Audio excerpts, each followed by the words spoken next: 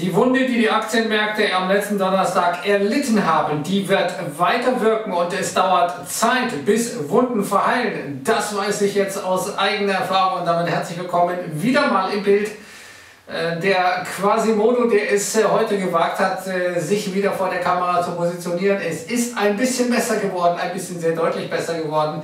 Aber wir wollen uns heute um die Schaukelbörse kümmern, denn wir waren heute sehr, sehr schwach unterwegs. Heute Vormittag ein richtiger Sell-Off. Und dann kam eine Drehung rein und diese Drehung, die hatte wieder mal mit Florida zu tun, also mit einem US-Bundesstaat, der zuletzt sehr stark ansteigende Zahlen des Coronavirus hat verkraften müssen. Jetzt heute, praktisch die Daten ja von gestern, vom Sonntag, die waren etwas niedriger und bums ging es mit den Aktienmärkten nach oben. Schauen wir uns die Chose mal an. Hier sehen wir die Cases, wie sie heute Morgen sich noch dargestellt hatten. Also das waren die Zahlen vom Samstag. Hier sehen wir diesen maßgeblichen Spike nach oben. Und das war neben der Sorge um das, was in China wieder passiert, was in Peking passiert, äh, der Grund äh, für den äh, morgendlichen Abverkauf. Aber dann kamen eben diese New Reported Cases und wir sehen, dass äh, wir hier, wenn Sie das äh, erkennen können, einen Rückgang haben. Wir sind zwar jetzt immer noch über den Daten vom Freitag, also es gibt mehr Fälle als am Freitag, aber eben weniger als am Samstag. Aber der entscheidende Punkt ist vielleicht, das haben die Märkte dann wieder nicht so offen zeigen, dass die Daten vom, vom Sonntag, die ja heute veröffentlicht wurden, in der Regel sehr, sehr niedrig sind. Also ob das wirklich äh, hier äh, die Erleichterung bringen wird, das sei mal dahingestellt, eher unwahrscheinlich. Jedenfalls sehen wir, und das ist so ein Trend, dass offenkundig die Todeszahlen nicht weiter steigen, trotz der starken äh, Zahlen der Infizierungen. Das heißt, wir haben wahrscheinlich eine Abschwächung der ähm, naja, Ernsthaftigkeit, der Schlimmheit sozusagen dieses Virus. Das sehen wir auch in dieser Grafik, wo wir zwar sehen, dass die globalen Fälle weiter ansteigen. Wir hatten jetzt am Samstag, letzten Samstag, die höchste Zahl an Neuinfizierungen mit dem Coronavirus, seitdem das Problem besteht in gewisser Weise. Aber wir sehen eben in der unteren Grafik auch, dass die Mortalities, also die Sterblichkeit, äh, nicht steigt, sondern tendenziell, naja, sich ausbalanciert auf etwas niedrigem Niveau. Und äh, das gibt den Märkten ein bisschen Hoffnung. Hier sehen wir insgesamt die Situation, ähm, dass wir nach wie vor das Problem haben, vor allem äh, in den südlichen US-Bundesstaaten, ähm, North Carolina, South Carolina, Arkansas, Texas vor allem, aber auch äh, Arizona, dass die Hospitalizations nach oben gehen. Es müssen also mehr Leute ins Krankenhaus. Es sterben nicht mehr Leute, aber es müssen relativ in diesen Regionen mindestens mehr Leute ins Krankenhaus. Und äh, wir sehen, äh, dass auch das Testing hier, die untere Grafik, dass das Testing nicht zunimmt, dass also nicht wahnsinnig viel mehr Tests gemacht werden, das stagniert auf hohem Niveau und das, obwohl Seth Donald gesagt hat, ja, wir testen doch so viel mehr, our testing is so much bigger and more advanced, also die Amerikaner sind schon wieder in Sachen Technologie uns weit voraus, es hat ein bisschen gebraucht, bis sie ein paar Tests durchführen können, oder konnten, aber jetzt äh, haben sie es halt geschafft und jetzt sind sie natürlich aus dem Stand Weltmeister. Das ist so bei den Amerikanern, was die anfangen, sofort Weltmeister.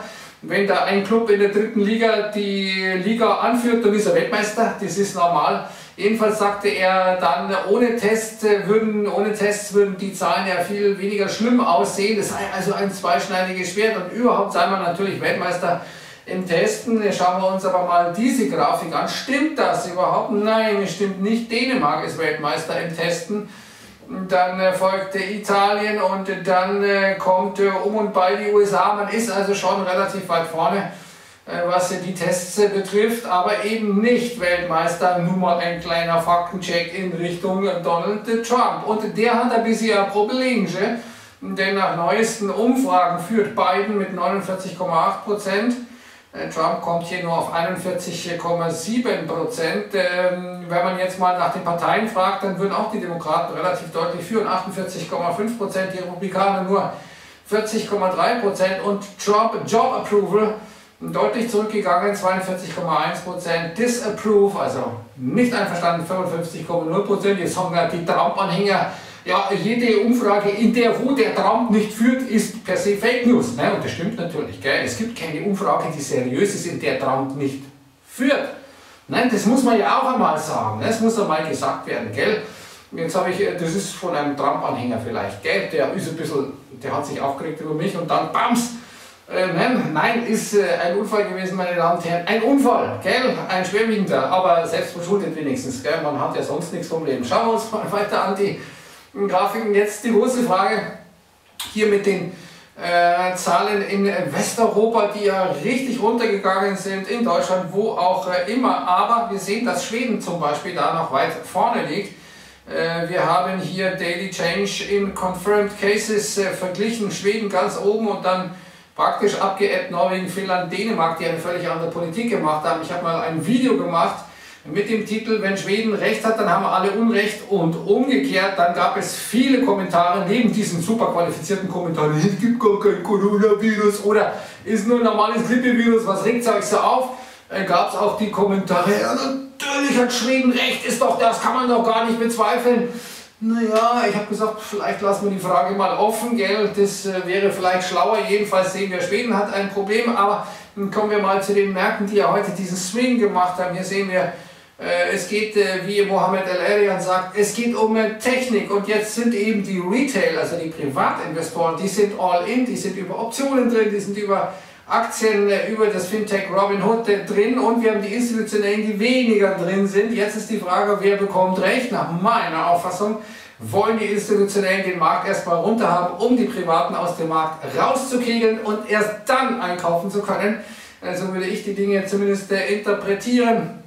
JP Morgan sieht das anders und sagt, ja, äh, wir glauben nicht, äh, dass äh, wir sozusagen jetzt wieder breitflächige Lockdowns sehen werden. Insofern müsse man sagen, buy the dip, also kaufe den Rücksetzer. Wir sehen wahrscheinlich keine zweite Welle.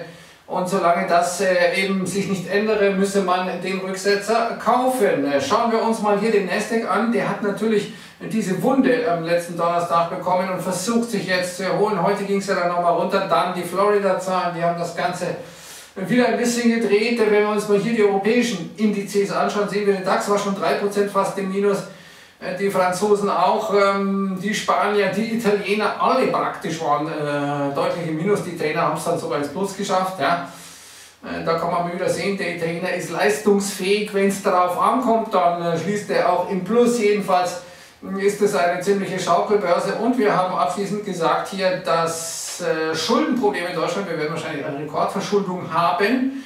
Äh, der Scholze, der hat ja schon gesagt, wir müssen also neue Anleihen imitieren, gell? und die anderen sind also doof und kaufen die für praktisch Nullzinsen oder Negativzinsen. Wer soll sich da nicht verschulden, wenn er praktisch dafür noch bezahlt wird? Das ist ja klar. Schauen wir uns äh, noch was an oder bin ich schon fertig?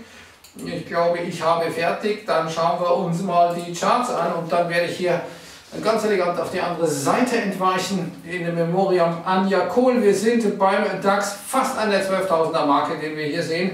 Und die Charts, meine Damen und Herren, ja, die sind immer noch von Capital.com, also knapp die 12.000er Marke. Wir sehen hier beim S&P 500 diesen Move nach oben, hier zunächst mal die Schwäche, die wir hatten, 2936, jetzt sind wir bei 3040, also mal 100 Pünktchen. Das sind locker mal 3% die der Index äh, hier mal absolviert. Ähnliches Bild natürlich bei den anderen US-Indizes. Schauen wir uns mal Gold an, 1719 wenig äh, bewegt. Äh, heute hat sich ein bisschen gelangweilt, wie die Märkte insgesamt auch 1,1284 Euro Dollar und das amerikanische Crude Oil. Das kann deutlich zulegen mit der gestiegenen Risikobereitschaft die jetzt aktuell der Fall ist. Und ja, wir können noch weiter nach oben gehen an den Märkten, aber ich glaube nicht, dass wir jetzt sozusagen äh, diesen mega Bullenlauf wieder fortsetzen. A, weil Wunden äh, etwas Zeit brauchen, um zu verheilen. Das ist das Erste. Und das Zweite ist, dass eben dieses Bedenkenfreie, die Fed ist unser Freund und nichts kann passieren, das ist ein bisschen raus aus den Märkten. Ich hatte vorhin ja die äh, Umfrage gezeigt, sehr zur Freude der Trump-Fans, die eben darauf hindeutet, dass es zumindest möglich ist, dass Donald Trump die Wahl verliert und das werden die Börsen irgendwann einpreisen, werden die Aktienmärkte irgendwann einpreisen müssen und dementsprechend gehe ich davon aus, dass es volatil bleibt in nächster Zeit. So, jetzt äh, will ich Sie nicht überstrapazieren mit diesem schrecklichen Anblick, sondern sage wunderbaren Feierabend wünsche ich Ihnen und ich sage Servus und Ciao und morgen wieder vor der Kamera, meine Damen und Herren. Ciao.